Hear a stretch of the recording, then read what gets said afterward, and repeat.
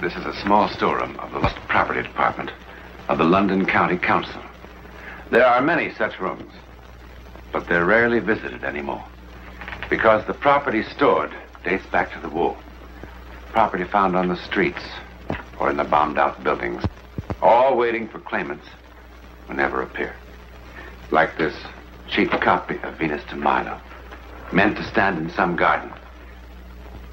The ages have claimed her arms. The war claimed her head. Like on what mantelpiece do you suppose this old clock was standing when the bomb hit? Calmly ticking. Time stopped for it at 7.36 a.m. Or p.m. What difference does it make?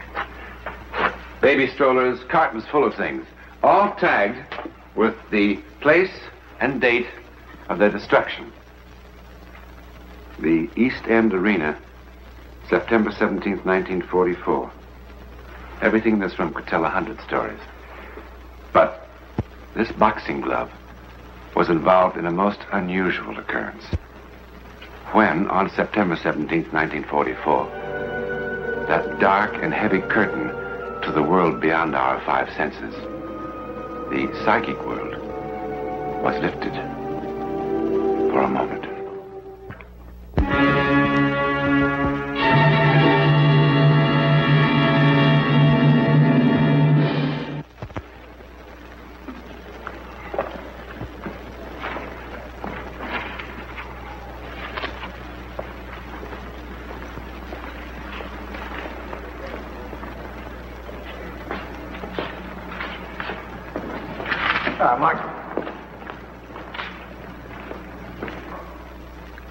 Yank. Sorry I'm late. Oh, it's all right. I had a bit of shopping to do. Fish and chips. I know. But we're betting the purse, aren't we? I'm financing dinner out of my own pocket, you might say. Never mind. We'll have a real feed after the fight. What kind of odds you get? Three to one for the old 30 quid.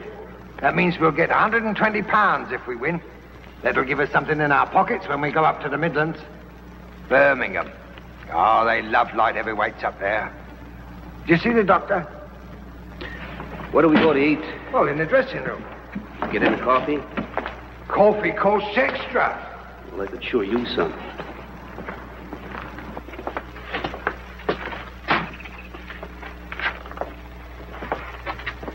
Why, this is sure crummy.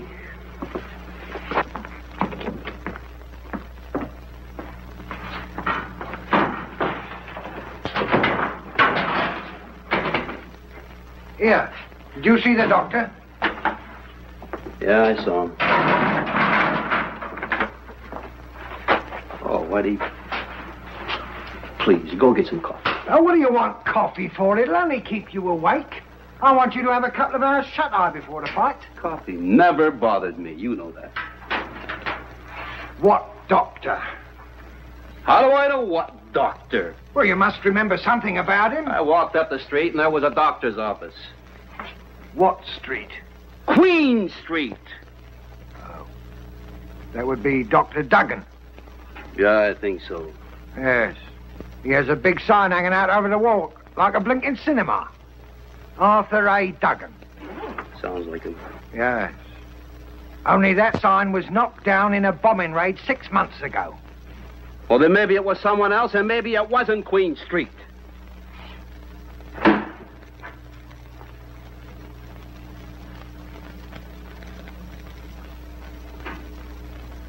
All right, Whitey. I lied to you. I didn't see any doctor. You know, I'm getting too old to fight.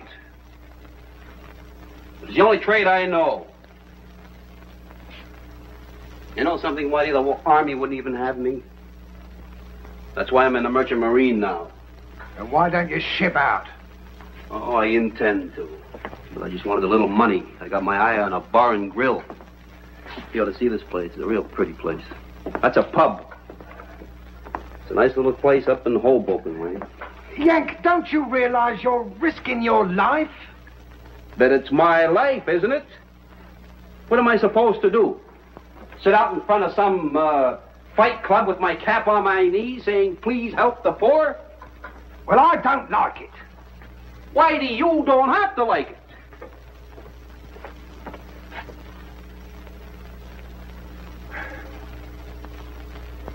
Never mind.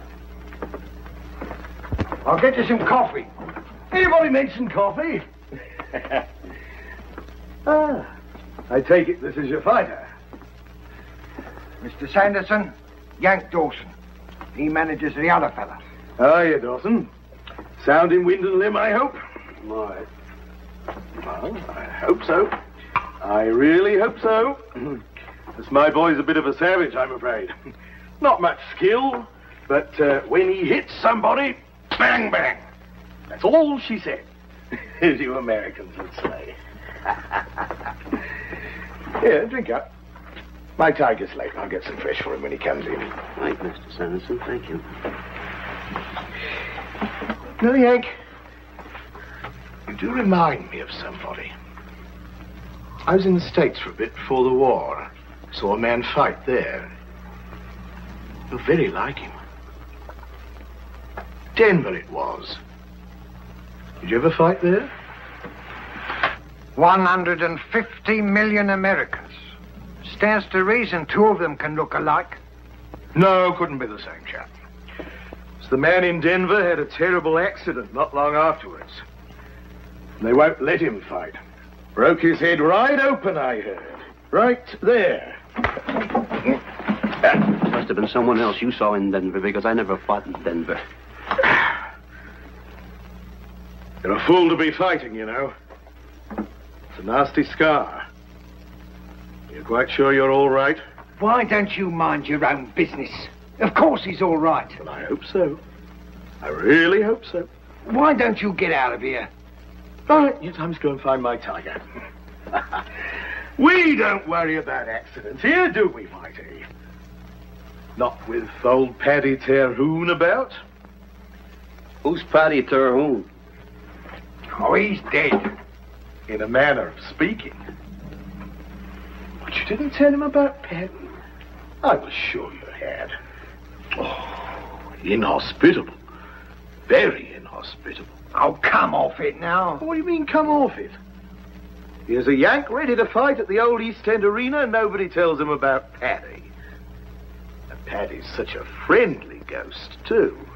Mr. Sanderson, I don't want to be rude, but I do want my Yank to have a couple of hours sleep. So if you don't No, mind... no, all right, all right, if you don't want to tell him.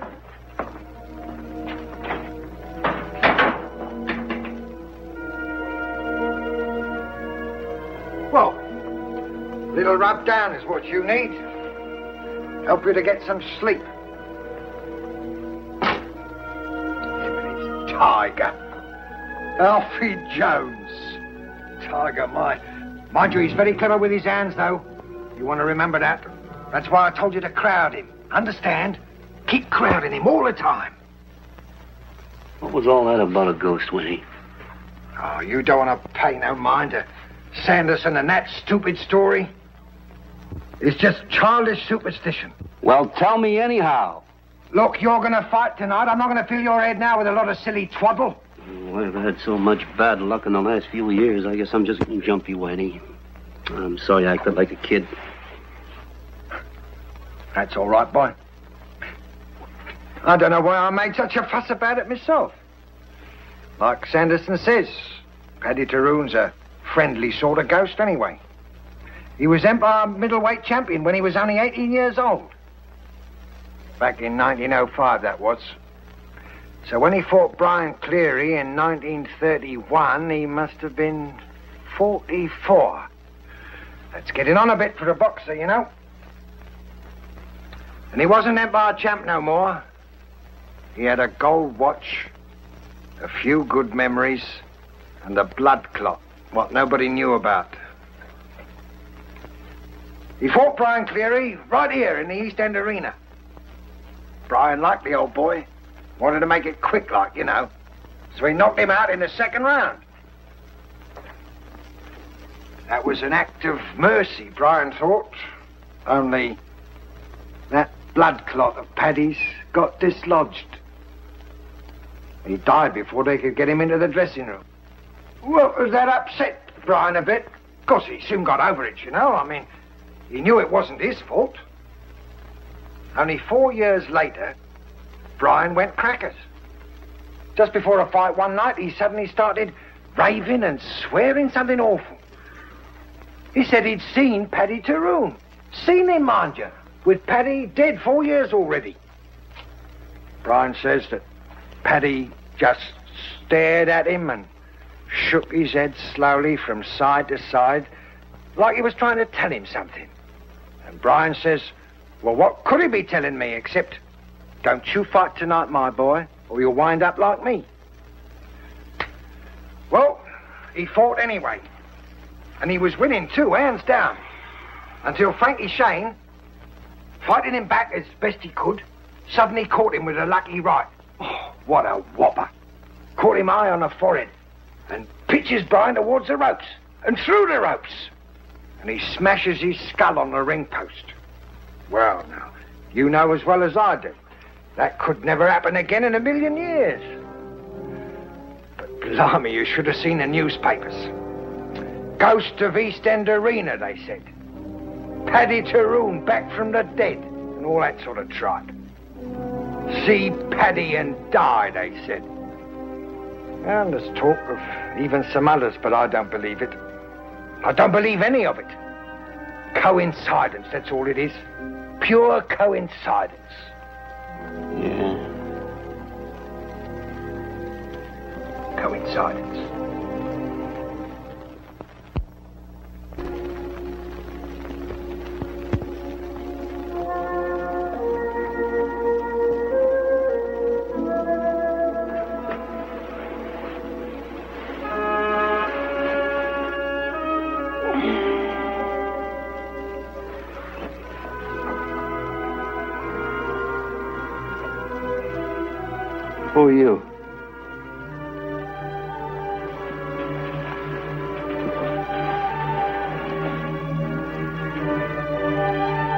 Want?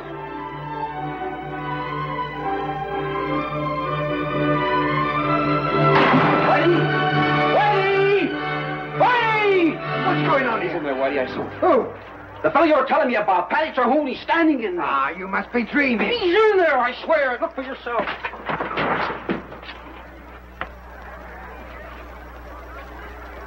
In where, did you say? Believe me, Whitey.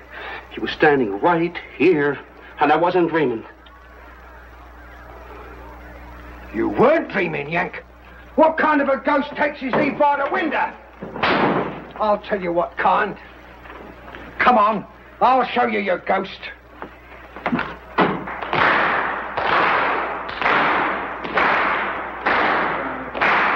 Listen to him out there. You're going to ruin me. Well, don't look at me. He's the one what's ruining you. Him and his psychological warfare. I got contracts with the both of you. Well, we are ready to fight. Then you two can fight. I'll tell you straight out, my boy isn't going into the ring until he admits what he done and apologizes for it. And just what am I supposed to have done? I had somebody to impersonate Paddy Terhune. That's what you've done. Trying to scare my boy. What's all this about? That ghost was a fake. Well, maybe it was, but that doesn't prove that I had anything to do with it. Who else? Who else had reason? It's your boy we're fighting, and you was offering odds of five to one. I've got confidence in Alfie, that's all. Well, that's another thing. Look at him. Cool as a cucumber. Quiet as can be. Here, it got nothing to do with me. I'll say fight. Well, that's just it. Your opponent saw Paddy Terhune, and you say fight. Aren't you scared you're gonna kill him? Cleary and Kawicki saw the ghost and they was killed in the ring. Why doesn't it bother you that the man you're fighting is going to die? I'll tell you why. Because it's a fake and you know it. If what you say is true, it's a case for the Boxing Control Board. Unsportsmanlike conduct by your manager. You insisted that my boy heard about Paddy Terhune, and you knew he was going to take a few hours' sleep. That gave you plenty of time. How long did it take to sew Paddy's name onto that sweater? Now, look here, Whitey. And who I- did you hire to do Paddy Terhune? Which one of your flunkies was it? Willie Davis? He's about the right age and size. Who's Willie Davis? Oh, some used up old fighter who'll do anything for a few quid that he can take across the road to the Red Lion and turn into whiskey. And we don't have to ask his permission to go over there and ask Willie to talk, and he'll talk. In the interest of justice and better boxing and a few, dr- few more drinks. Come on. No, no, no, wait, wait, wait. All right. All right. I did it.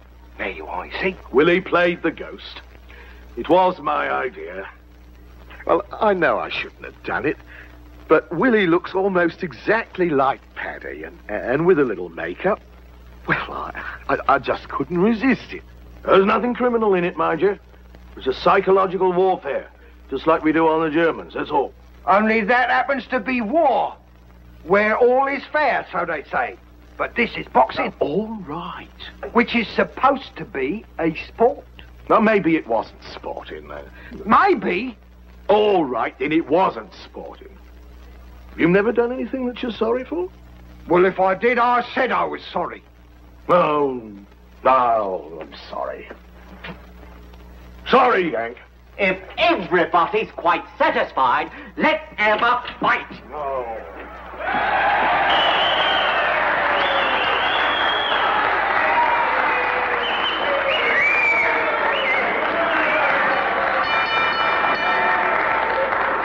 ¡Vivo!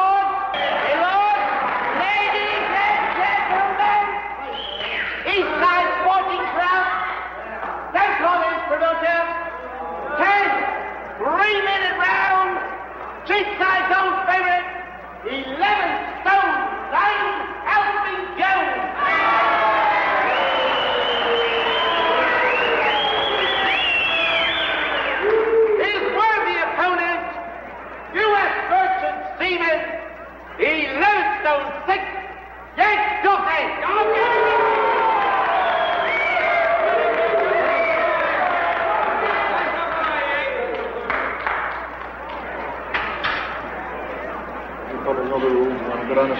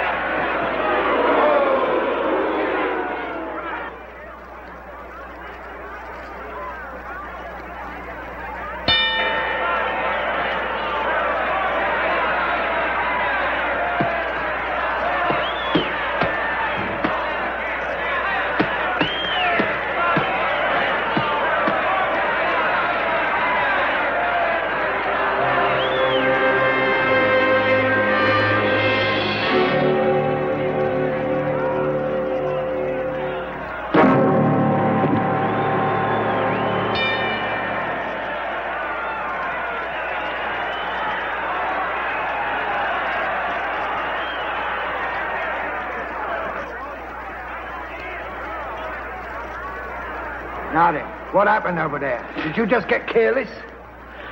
That fellow I saw in the dressing room. You know, Davis? Well, what about him? He's sitting up there in the last row. I saw him. It kind of confused me, I guess. So Sanderson's still up to his tricks, is he? I'll flay him alive.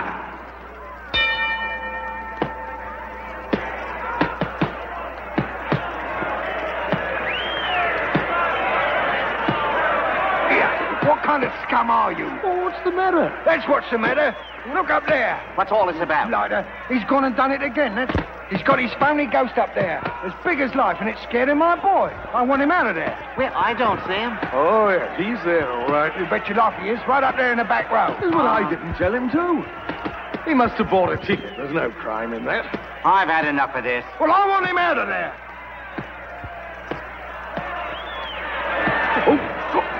Finish him. Finish yourself. Protect yourself, Yank.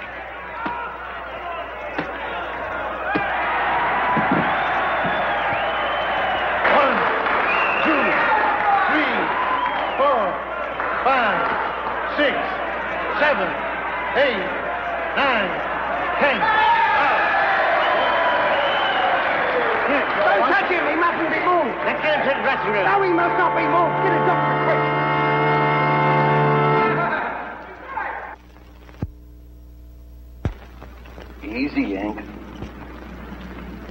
How do you feel? All right, I guess.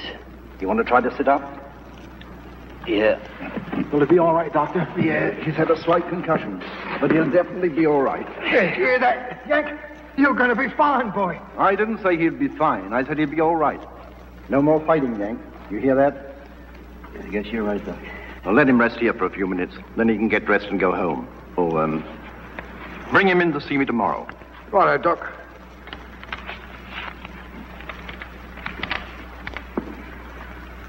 Uh, look here, White here. I'm sorry about all this. So you should be. Lot of nonsense. Your boy would never have beat him if he hadn't been distracted. Is there a Mr. Sanderson here? I'm Sanderson. Mr. Sanderson? Yes? It's the devil's own time finding you, sir. Do you know this man? Yes, Willie Davis. Why were you sitting in the back row, Willie? Beg your pardon, sir, but the only place he's been sitting is at the police station. Under the influence, as you can see. But he couldn't. I picked him up in the Red Lion pub. There were some there that said he stole the money he spent there. But Willie said that you'd vouch for him, that you gave him the money. So that's true. How long has but he I- been in custody? For the last hour, I'd say. That's impossible. Why, we saw him sitting here in this very arena wearing that foolish sweater not ten minutes ago. Couldn't have been him, sir. Ten minutes ago, he was still unconscious. Come on, Willie. But I saw him too between rounds. I thought Mr. Sanderson was still using psychological warfare. Well, it couldn't have been Willie. Then it was Paddy Terhune himself. I saw Paddy. I'm going to die. Oh, Shut up. Must be some explanation. I saw him twice. We all saw him. Not me, remember? I didn't see him. The rest of us aren't all going to die. Oh, don't be ridiculous.